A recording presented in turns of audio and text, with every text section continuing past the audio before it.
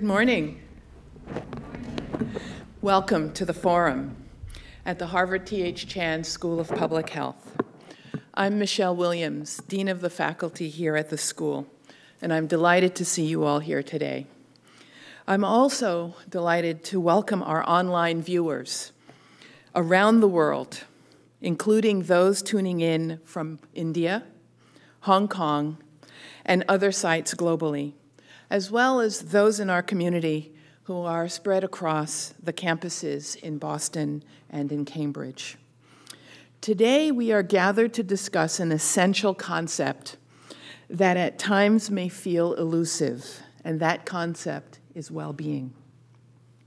I'm deeply honored and really humbled to welcome our distinguished guest, Dr. Deepak Chopra, New York Times best-selling author and founder of the Chopra Foundation. Dr. Chopra is a world-renowned expert on well-being. He has recently published a new book, The Healing Self, a revolutionary new plan to supercharge your immunity and stay well for life. This is a book that's co authored with Harvard's own neurology professor, Dr. Rudy Tanzi. This event this morning is presented jointly with PRI's The World and WGBH, and I am pleased to welcome the world's Carol Hills, our moderator for today's conversation with Dr. Chopra. We are streaming live on the websites of The World and the forum, as well as other social media platforms. We will look at our world today as we tend to focus on the problems that many of us confront here at the school and beyond. For example, think about the problems we confront chronic and infectious diseases undermining the health of populations. Natural disasters strike, often hitting hardest the most vulnerable populations. Social injustices and health disparities sadden and frustrate us all. And mental health, a key part of overall wellness, tends to go underappreciated or even unappreciated in some contexts. Yet psychosocial stress, depression, and anxiety impact hundreds of millions of people around the world. So, what can public health do about these challenges? How can public health help? Let me offer a few examples to illustrate how public health can help. We can recognize that healthy lives across the life course are not just those lived without sickness and disability. We can help people engage in wellness across their lifespans. What do we mean by that? We can help people by easing access to affordable and nutritious food. We can help by promoting social connectedness. We can help by offering access to good quality health care. And we can help by educating people about the importance of managing stress and getting enough sleep and exercise. We can also encourage a holistic approach that supports these foundations with respect to personal health as well as within healthy communities. And perhaps most importantly, we can help to bring evidence that drives policy to promote systems and approaches that bolster the well being of entire populations. We here at the Harvard Chan School consider well being as such an important part of what constitutes a healthy world that we have identified well being and nutrition as key components of our research mission. We will begin today with Dr. Chopra giving brief remarks here at the podium, and then he will join Carol Hills in a conversation. We have already received a large number of questions in advance of our session, and Carol will share some of those with you, along with questions contributed by our, our local viewing audience here. To start today's program, I get to do an Oprah. I'm sure she'd like to know that her name's a verb as well. I have an opportunity to have a little fun. And what I'd like to do is ask everyone here in the auditorium to look at the postcards at the desk in front of them. And if your postcard has a sticker on the reverse side, then I'm happy to share with you that you will receive a complimentary copy of The Healing Self after our program. So read it, enjoy it, be well, have fun. It is now my great pleasure and honor to welcome Dr. Chopra to the podium.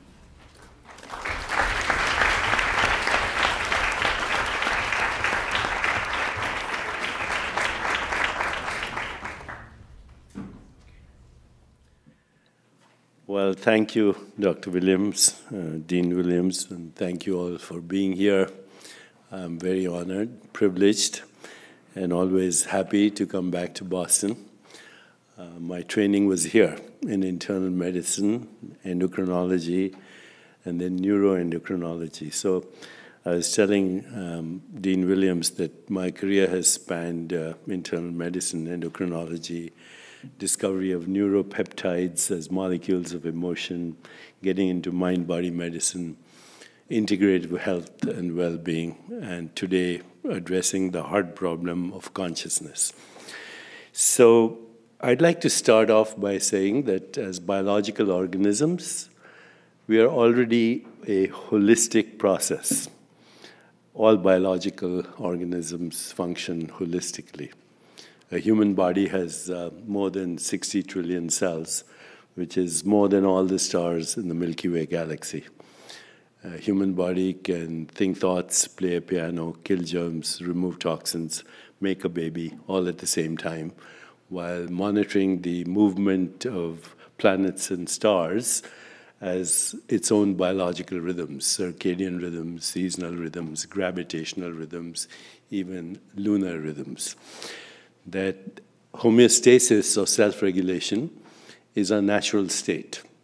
And the extreme end of the spectrum, if homeostasis or self regulation, which is a dynamic process of non-change within change is one extreme, then low-grade chronic inflammation is the other extreme, which um, leads to disease. Only 5%, only 5% of disease-related gene mutations are fully penetrant, which means they cannot be stopped. 5%. If somebody has a BRCA gene, for example, for breast cancer, that's a fully penetrant gene. And one needs to do remedial measures as prevention. Angelina Jolie has gone public with her preventive mastectomy and so forth because she had that gene. Now, what most people don't know, other than those who are really involved, is that's true of 95% of chronic illness in our world. Even mutations that lead to disease are not fully penetrant. So if you have, say, 30 identified genes for Alzheimer's, only three are fully penetrant. Uh, hundreds of genes are involved in various types of cancer, less than 5% are fully penetrant. And the fact that uh, the risk factors for heart disease, stroke, inflammation, cancer, autoimmune illness, infectious diseases are actually common. They're the same risk factors that uh, we've been looking at for cardiovascular disease for the last 35 years. So, with that understanding of our body as a holistic process, a body as a verb, and I'd like to say that nouns are conventions of language, but they do not reflect reality. Reality is always an activity. Your body is an activity. Even this is an activity at the level of atoms and particles. But biological organisms are so dynamic in maintaining self regulation that if we put attention to just a few things, and the new sciences of neuroplasticity, neuroplasticity means that your conscious choices regulate your neural networks, and if you make something a habit, you create something called long-term potentiation of neural networks that basically helps you regulate your own biology. And so neural feedback, cardiac feedback, but just simple things like meditation will change the way you look at self-regulation and healing. The word healing comes from the word holy. Healing, holy, wholeness, health are the same word. It's reminding yourself of your connection to wholeness. So, with what we know of neuroplasticity, epigenetics, which means we every experience that you have, every experience, including the experience you're having right now, even if you're online and watching it from India, every experience is modulating not only your neural networks, but your gene activity. And uh, similarly, your microbiome, which is 2 million extra genes, is responding to every experience you have, whether it's sleep or food or exercise or meditation or yoga. So over the years, I've identified what I call the six pillars of well-being. These are, and not necessarily in uh, order of importance, uh, they're all equally important. So the first is sleep. Uh, we can go into details at any time on that. Second is stress management, mindfulness, meditation, and many other uh, contemplative techniques that have been part of wisdom traditions all over the world. And we have now original research to show that even a week of practice of mindfulness and meditation will upregulate your gene activity. Some genes will go up 17 fold genes for wound healing, genes for homeostasis, and genes that are responsible for inappropriate inflammation will go down. We have shown that telomerase, the enzyme that regulates your genetic clock, uh, in some cases will go up by 40% in people who practice contemplative self-inquiry, mindfulness, and meditation. There's no drug that'll do that. So that's the second pillar. The third is movement. And if you add to that practices like yoga and breathing, pranayama practices, you can specifically target several different organs in your body because yoga has the knowledge of which visceral nerves are activated with which kind of movement, yoga postures or asanas as they're called. So movement is the third pillar. The fourth pillar is emotions. So we know the stress and uh, anger and hostility and uh, guilt and shame and depression all uh, aggravate inflammation and raise blood pressure and, and cause sticky platelets and everything that goes wrong when homeostasis is disrupted. But we now also have evidence that love, compassion, joy, equanimity, a peaceful mind, and even keeping a gratitude list will decrease inflammatory markers and activate the genes that are responsible for homeostasis and self-regulation. So emotions become very practical as a way to harness emotional and social intelligence uh, for optimal self-regulation. And finally, two more things, uh, which one is nutrition, uh, Michelle mentioned. When I was training in internal medicine, people called me and said, you know, I changed my diet and my arthritis went away or my asthma went away. I didn't believe them. I had no basis to understand how that happened. But now that we know that the microbiome, two million genes in your gut, the first thing they see is food. And if your food is contaminated, uh, has too much fat, too much sugar, too many chemicals or pesticides or petroleum products or processed food, then you have dysbiosis, inflamed microbiome that causes inflammation in the body. Your microbiome, your genes, and your epigenetic mechanisms are all influences the metabolic activity in your body right now. So nutrition becomes very important. And then uh, Carol was asking me, I think earlier, do I experience jet lag? Uh, because I travel so much.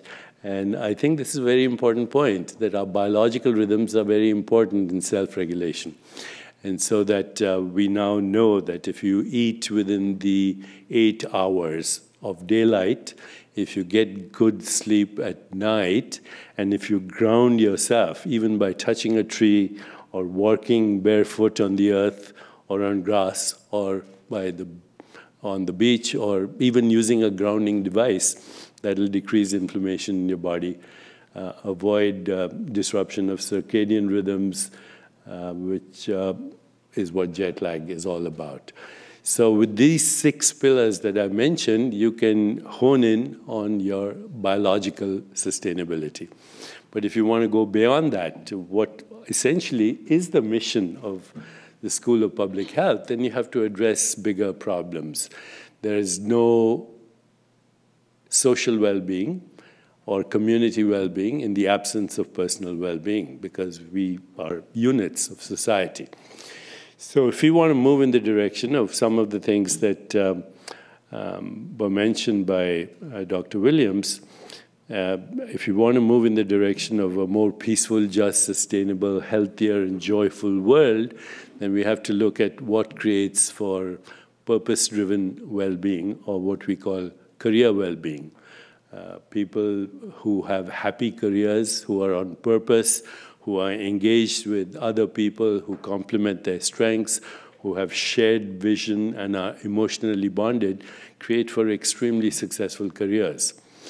Then you have social and uh, emotional and uh, uh community well-being, which is uh, do you have a close uh, group of family and friends that you can rely on? Are you socially engaged? As far as communities are concerned, do you uh, offer some service uh, as a volunteer? Do you gather in a community to envision the future of your community? Do you have some kind of practice, spiritual practice that you do together? In India, and I know people are watching in India, we use these three words, seva, satsang, and simran. Seva means service. Satsang, satsang means a gathering of people who are looking for ways to improve well-being and search for what is called reality. And Simran is some kind of contemplative self-inquiry. Those are the essence of community well-being.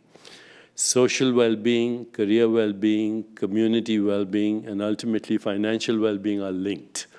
Financial well-being doesn't have to do with how much money you make, but uh, the security that you have if you have default uh, ways of ensuring that uh, you will be fine if you fall sick, that you have employment, that you have disability, that you have insurance, and that you can look forward to uh, security as you get old. And finally, the spiritual well-being, which is another topic. Uh, who are we? The hard problem of consciousness. Is consciousness a byproduct of our brain, or is it more fundamental in nature? Is consciousness the source of all experience? And that's what I'm focusing my work on now, uh, totally, uh, looking at the hard problem of consciousness and understanding our consciousness, both personal and collective, as a source of insight, intuition, imagination, creativity, vision, higher purpose, and the power of intention. So when we look at well-being, and it's measurable, everything I've said is measurable. Social well-being, uh, community well-being, financial well-being, physical well-being, emotional well-being. In fact, now, uh, in addition to doing perceived stress scores, we're also doing spiritual well-being stress scores uh, called um, understanding your relationship with uh, the ecosystem at large, not just the social ecosystem, but our connection to nature and ultimately our connection to the universe. It's a big topic. Uh, public health should be the number one discipline for anyone wanting to go into uh, the future of well-being uh, because it's going to be predictable, it's going to be precise, it's going to be preventable in many cases. It's um, going to be participatory, and it's going to be process-oriented. And it's going to require more than academic institutions. It's going to require a global public awareness and require a global action plan um, which I think is feasible through uh, blockchain technologies and other social networks so that we can collectively not only envision but practically embark in the direction of a more peaceful, just, sustainable, healthier, and joyful world. I was sharing with Michelle some of our research now at the Chopra Foundation uh, through meta-analysis of big data. It seems the number one epidemic in, of our civilization is stress, but it's also connected directly or indirectly to almost every illness that you can think of, and even to social violence and conflict, and ultimately even climate change can, change can all be linked to our collective behavior. It's time to take uh, schools of public health with leadership such as this here at Harvard School of Public Health come together collectively and bring about uh, a shift in well-being. And I'll just end there. Well-being is more than wellness. Wellness is having a good cholesterol level and good blood, blood pressure. But well-being is a state of consciousness where you measure the quality of your life in all the different buckets that I mentioned, physical, emotional, spiritual, community, social, financial, and career. Thank you.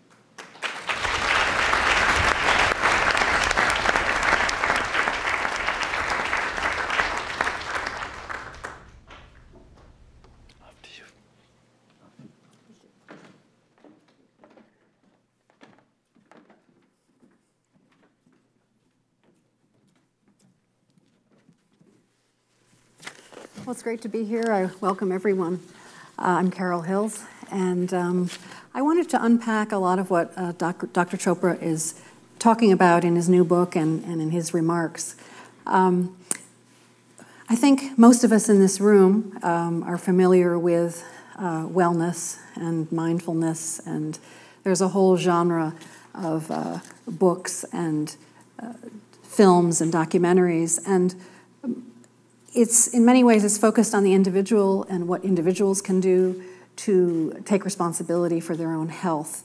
And I wonder how do we, um, I want to frame this conversation by thinking about how do we apply these things in the world of public health? And um, where we're talking about populations, and we're talking very often about populations without access, uh, living in poverty, uh, people whose lives are full of stress and have very uh, little to, to, work with. And so I wanted to start with um, you mentioned one thing in your opening remarks about blockchain technology, and I wonder if you could uh, elaborate on that, uh, where, where, it concerns public health. Well, blo blockchain technologies are self uh, regulating movements and technologies for just about everything. So one can create blockchain technology. In fact, I'm in the process of doing that, and I was talking to Dean Williams about it, that you could create a social movement where you have reward systems for well-being and social engagement and service. And those reward systems could be recognition uh, from, say, the Harvard School of Public Health, or opportunities to serve or get a job in the area of well-being, and I think it takes well being and democratizes it, whether it's through blockchain technologies or cryptocurrencies that can be used as reward systems. Give, give an example. So we create a well-being community in Cambridge, Massachusetts, and everybody here is part of it. And uh, it, uh, they have access to it through a private uh, code and they share ideas and they share um, goals, whether it's optimizing nutrition, weight loss, better sleep, service to the community, spiritual practice. In exchange, they get um, um, money for it, cryptocurrency that can be used only for improving well-being and service. Are there examples or models for that approach um, in, in other countries it's or among populations? It's a very new model, and uh, it's moving very fast, uh, especially among the millenniums, millennials. I see a future even for democracy uh, in the future globally, whereas global citizens and global citizen scientists, we can contribute both our services and also get uh, back advice and participate even in the electoral process by voting on values uh, rather than on personalities. And do you see this translating among populations that uh, live in poverty? Are there ways to introduce this kind of thing uh, among the populations that, right people now it's, it's not health? in that demographic right now, but it it could be, especially in places like India where everybody has a mobile phone. So it could be uh, part of that. But as far as um, uh, managing stress in impoverished areas, uh, as Dean Williams knows, we have a program in uh, New York uh, in very impoverished areas. It's called the Urban Yogis, where uh, regular practices such as those I mentioned are bringing the community violence and murder rate down just by doing this. Now, that could be incorporated ultimately through a blockchain technology as well. But I think for impoverished areas, especially in school systems, it's very easy to introduce some of these ideas. And uh, meditation doesn't have to be a complicated process, or mindfulness doesn't have to be a complicated process. It's just getting in touch with your inner self. In fact, we could try an experiment right now, which will take five seconds. Are you game for it? Are you game for it? So, everyone who's watching us, uh, I'm going to ask you a question, and the answer is yes. I'm giving you the answer uh, before I ask you the question. Okay? So, please say yes after I ask you the question. Are you aware right now? Yes. Can you be a little more enthusiastic? Are you aware right now? Yes. Okay. Now I'm going to ask you the same question, but before don't answer it till I lift my hand up, okay? So, same question, and then you can say yes when I lift my hand up. Are you aware?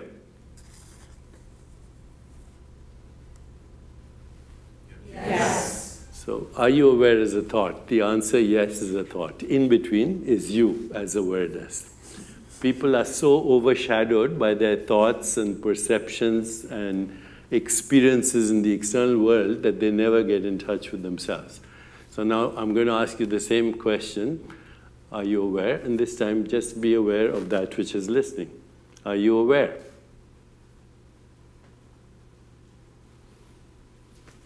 This presence is who you really are, not your thoughts, which recycle in social media, but the presence in which experience occurs. You can stop any time and ask yourself, Am I aware? shouldn't be a complicated process.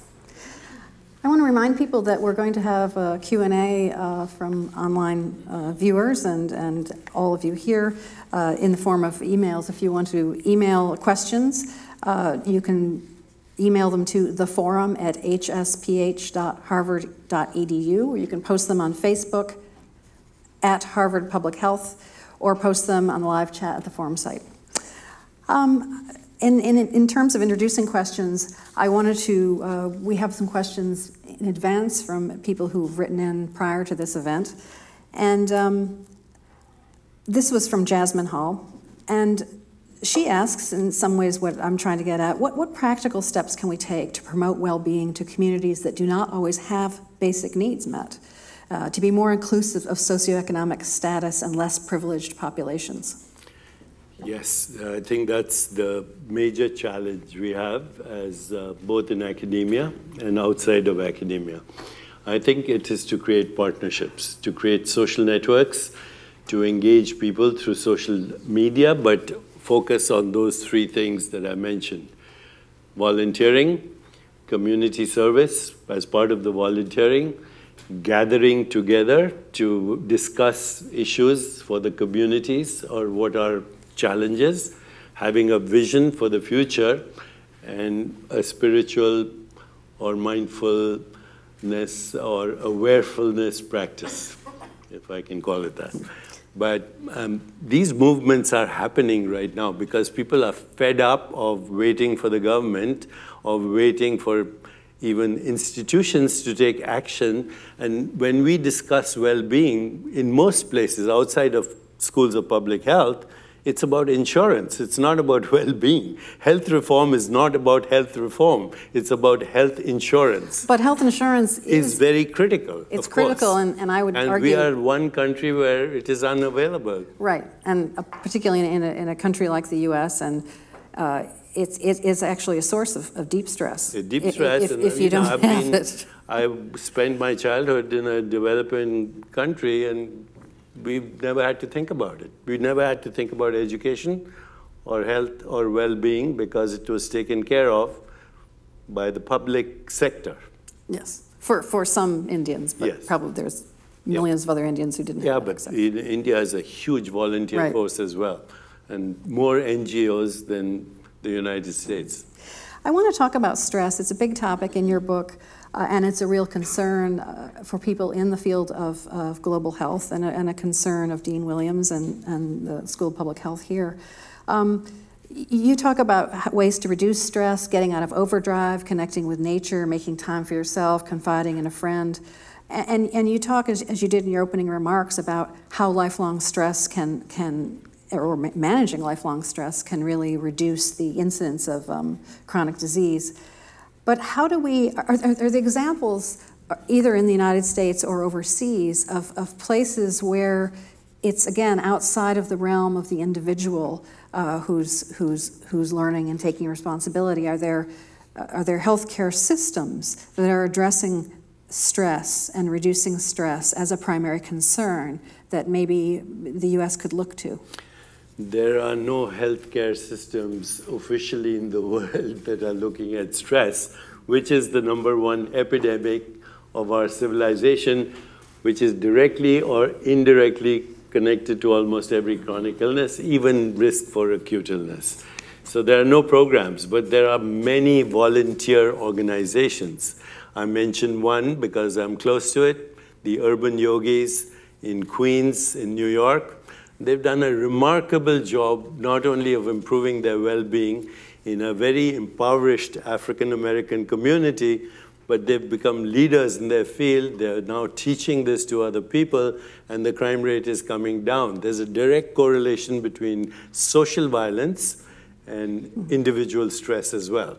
But crime rates are coming down for a lot of other reasons too. Say that again? Crime rates are coming down for a lot of other reasons too. In this particular demographic Yep. we are looking at, we are attributing it to the self-organization of the community itself, in this particular community. One thing I wanted to ask is, it seems like, um, you know, in the 60s and 70s, and as various parts of certainly American history, uh, there were group political movements, and it was the group uh, that was moving toward political ends and political ideals. And, you know, for the past 20 or 30 years, it's really been about kind of self realization.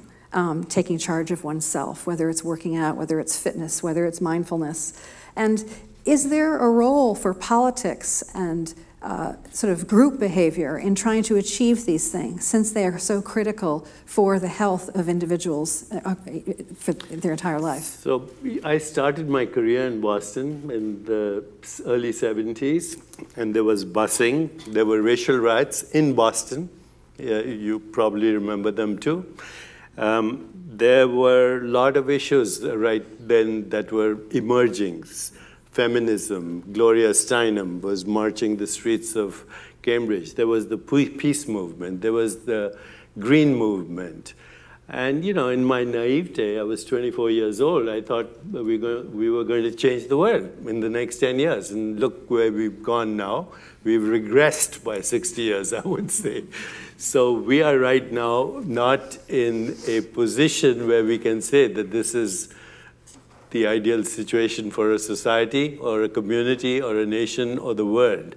And we need to revive uh, that kind of zeitgeist where um, politics ultimately will be influenced by social opinion, by public opinion, as it is always. You see right now, what is happening in the political uh, world, it's being influenced by social opinion. And I think in order for well-being to be part of the political arena, it's young people who should now be both voting and getting involved in the issues we're talking about. I'm going to introduce another question uh, from someone who sent it in, in advance, Archana Basu. Uh, she, she, asks, uh, how can current systems of health in the U.S. move to a more preventative model of care? I think current systems in the US have to listen to what is happening in schools of public health. Schools of public health need to get better funding, which is not happening at the moment, by the way, even though everyone's aware that public health is the number one issue, uh, both for prevention and for prediction of what happens in a society. The funding is not happening. So we need a political movement in that direction that can only come from the public. And I think we have an advantage in the fact that we can use social media as well to bring these ideas um, to everybody's attention. The internet, if you look at it, is the global brain right now. And it's a very active global brain. You can send somebody a tweet in South Africa and you can give them a dopamine hit or you can or you can be abusive on the internet to raise their blood pressure. So we are all connected. We are inseparably woven into the fabric of being and living. We are monitoring each other's brains. We are being monitored by each other. And we are regulating each other and being regulated by each other. There's no such thing as a separate self. So even self-realization and all these movements that started with, you know, it's all about me, ultimately leads to we. It, the me leads to we, but it also leads to a lot of stress. I mean, digital, the digital age is, is, is online life is, is also yeah, a big distraction. And so how do we kind of counter that? Um, I, I, you know, people are really never away One from work is now. technology is not going to go away. Okay, so uh, if you don't like what's happening in uh, the world of technology and, uh, and in social media, and you don't adapt, then Darwinian principles say that you will become irrelevant. So you cannot stop the technology movement. How do we use it? Right now it's being used by trolls. and by gangsters posing as political leaders globally. Uh, we need to get involved in using social media so we can actually bring awareness uh, about these issues, violence, social justice, economic justice, peace, conflict resolution, climate change. This is the best use of social media. And I use social media very prolifically, but I have times when I use it. So I have media time, exercise time, meditation time, uh, and work time. And I do one thing at a time because multitasking, your brain can't do it. It's a myth. Your, your cortical brain cannot multitask. Only your reptilian brain, which is taking care of your autonomic nervous system, it's already multitasking anyway without your help but your conscious choices have to be made mindfully. And if you're multitasking, if you're looking at your phone and speaking to me at the same time, you're doing neither. Okay, so it's a myth. And it's the one thing that actually ruins your neural networks, you know, because they get confused if you try to do too many things all at the same time. That's the bane of media and being seduced by it. Technology is neutral. Are you going to use it for destructive purposes, or can you help create a better world? I think you and I and many people in this room, we have, we have the luxury, uh, if, if we're willing, to, to compartmentalize and create separate spaces for our life. But again, putting it into a public health context, are there uh, uh other examples or models where these kinds of things are really being taken seriously, even in a very micro level. In, um, in the United States, everything becomes political. So if you want to introduce something to a school system, it becomes political. So it's a huge problem. Um, but the best use of knowledge is education. And uh, education is easily accomplished in schools, and education for well-being should be the most important aspect of education. The word education or education, the word comes from educore, which means to bring out what's already at the core of a child or a human being, which is infinite creativity. And we're not doing it. We're giving them information overload, which right now, who needs that with the internet?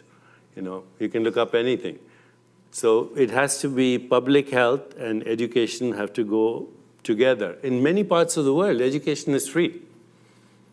And are there any parts of the world where that kind of uh, thinking is going to on? To some extent. In India, it is happening. To some extent, it's happening in urban uh, societies in New York and other uh, cities, but not, not mm. enough. We have another question we received in advance from uh, Marie Andre Lopez Gomez. She asked, What is the role of work in well being, and how is the work culture in the US affecting well being? And, and she adds, Are there any examples of work cultures around the world that offer examples? Well, here's the unfortunately depressing data. Only 50%, only 20% of people in the United States are fully engaged in their work, which means they enjoy going to work. They enjoy working with the people at work. They are complementing and being complemented in their strengths. They have shared vision and they're emotionally connected. Only 20%. 80% um, of people in the American workforce are either disengaged or actively disengaged. So disengaged means you just go because it's a job you have to do. Actively disengaged means that you, you're unhappy and you go to work to make other people unhappy. Okay?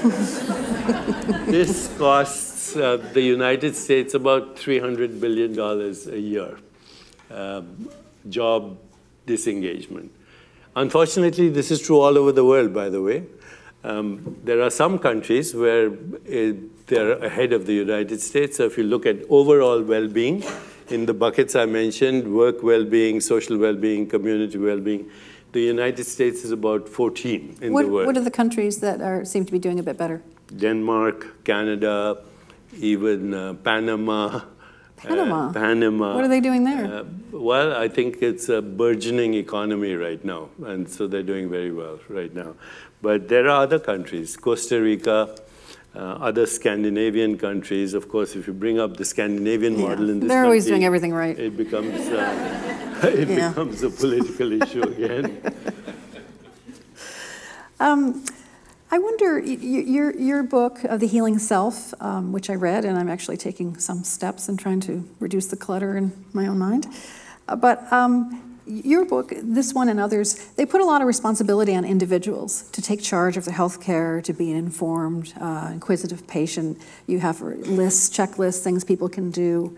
Um, in the public health sector, um, is there, should we be thinking about it differently? Is, is the individual approach and the burden of the individual to make things, things happen and take charge, is that the right approach in the public health setting? Not completely. Of, of course, there cannot be social well-being in the absence of personal well-being. That's a given.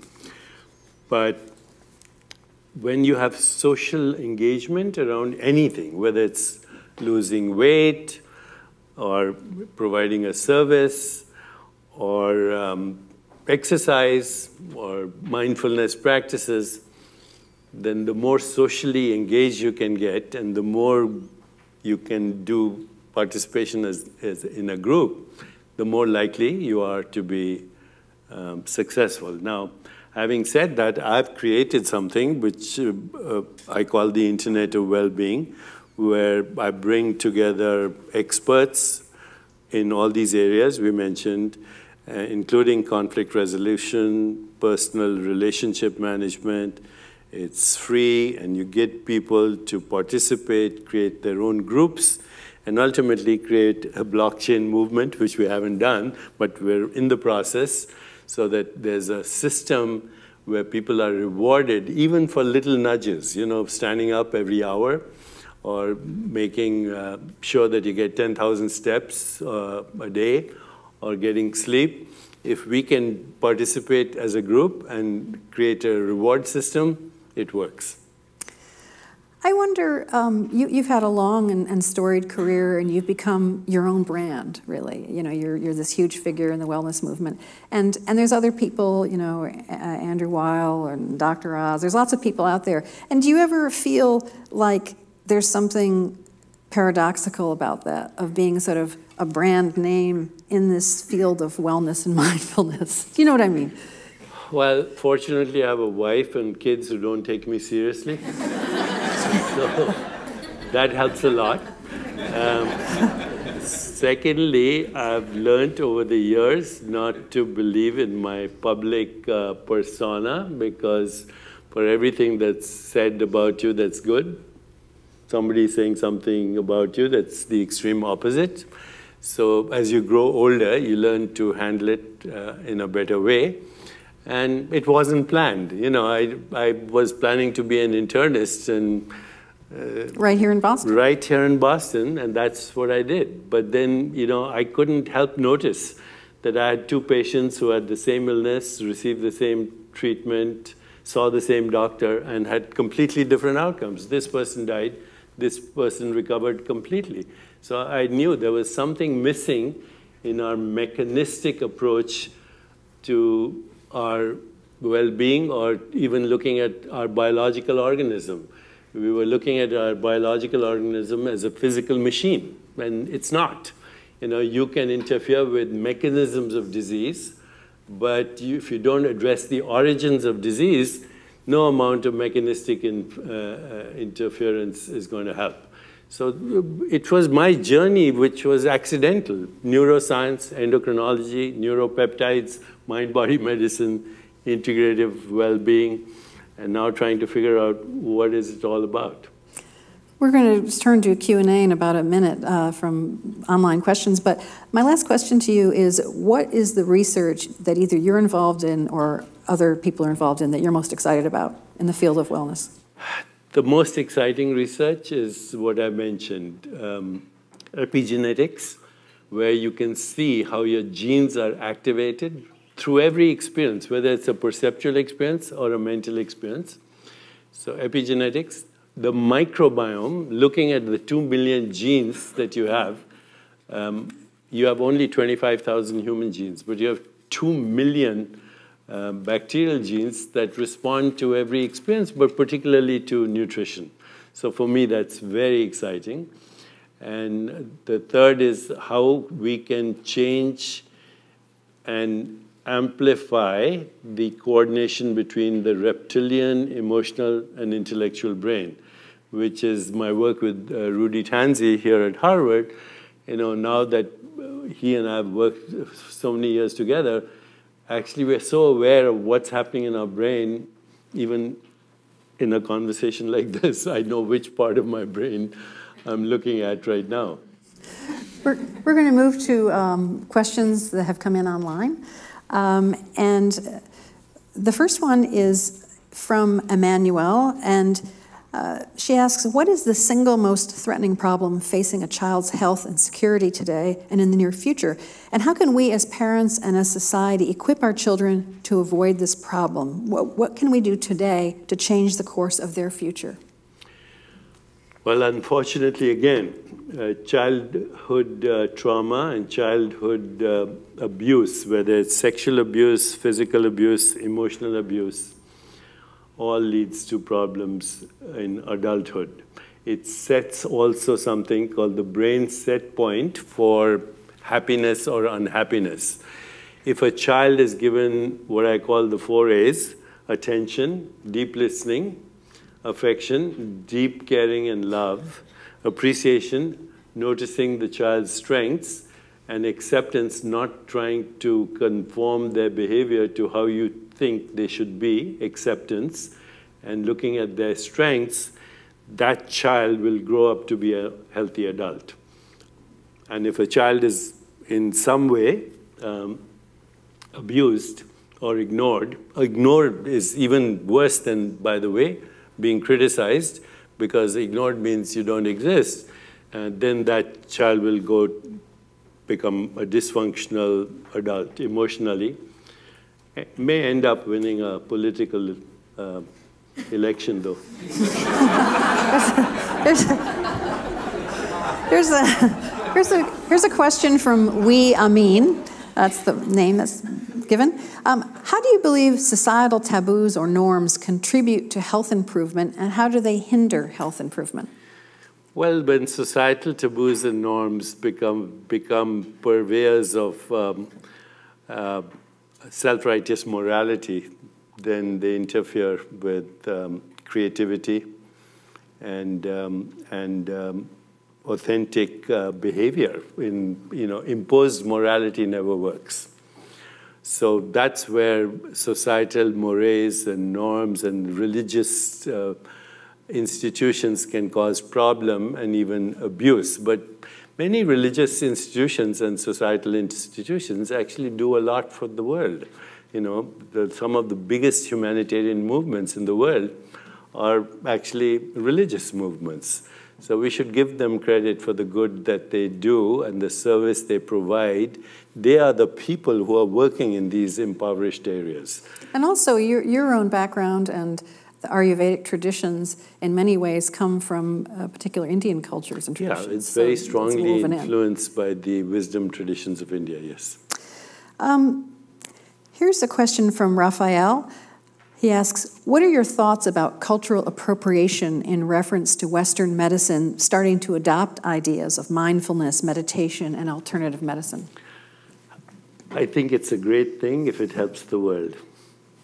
Uh, we are, I look at the future when I'm not around where nationalism or extreme nationalism will be considered a tribal disease um, that we, as we move into the future, especially with the next generation and the next generation, will be global citizens and uh, we will adapt to other cultures. I have a grandson right now who's uh, a little bit Chinese, a little bit Indian, and of course he lives in America. He speaks Spanish, Hindi, English, and Mandarin at the same time. That's the future citizen of the world. He's a fully realized self. It, that, that, that, that is the future of the world. And so I think um, we need to go beyond our tribal behavior, and I think extreme nationalism is just tribalism. So it's not going. And cultural appropriation, cultures get richer when they mix with each other. So I'm not one for total cultural identity. Culture can be a baggage, it can also be access to good food and to good music. but other than that, I think we need a multicultural society in a multicultural world. And America is the best example of that so far, unless we go the other way now with our immigration policies. Here's a question from Fatma. In your role as a physician and spiritual guru, could you please elaborate on the interaction between mental state and physical health? You can't separate mental state and physical health. Wherever the mind goes, the molecules follow. Uh, in fact, they're inseparable. So, this distinction between mind, mental state, and physical state is artificial. Uh, I can give you bad news and your blood pressure will go up in a moment if it affects you, that bad news. On the other hand, uh, if you're feeling appreciated, wanted, and loved, you'll have a different biochemistry. Your state of mind even influences the way your food is metabolized. So, because you know the different chemistries in the body uh, when you're stressed or when you're relaxed or when you're celebrating, completely different. So there's no distinction between mind and body. There, we should use one word, body mind, just the way we use wave particle, mass energy, space time, body mind. Here's, here's a question from Deborah J. As a, as a public health professional, what actionable steps can we take to encourage better holistic and self care for our patients? I think every physician in the field should be an educator as well. So when I was in practice in Boston, uh, I used to give my patients a choice. I would tell them, I'm happy to give you a tranquilizer, a sleeping pill, in those days, an antacid. We didn't have these sophisticated H2 receptor blockers or proton uh, pump inhibitors. But, you know, I realized very quickly that 90% of all prescriptions were for five things pain, anxiety, nausea, insomnia, and constipation. If you want to remember the acronym, it's PANIC. P A N I used to watch my nurses waking up patients to give them sleeping pills. Mr. Smith, will you please wake up? I have to give you your sleeping pill. Okay, so all these things are very easily manageable. So I would tell my patients, I'll give you a prescription if you want, but on Friday I'm going to give a lecture on well-being. Sure. And soon I noticed that more people were showing up for the lecture than for the prescription. And you know, you can even, to physicians out there in public health, you can even charge for it. You know, charge a little bit for your lectures, they'll be valued. Um, but uh, make sure they're less than a prescription in price. Here's a question from Adele. What research topics would Dr. Chopra recommend for young scholars to analyze in the interface between well being and spirituality? And spirituality. Look up a paper called Non Duality and Well Being. Non Duality and Well Being. It's about the relationship of spirituality and well being. And basically, it means that uh, the more, you know, what is spirituality? It's just the question I asked you. Are you aware? The more self aware you are, that's spirituality. Don't mix it up with religion. The more aware you are of your inner self, and the more aware you are of your mental activity and your perceptual activity, and the more aware you are of your choices, that improves your well being. So, spirituality is being self aware, period.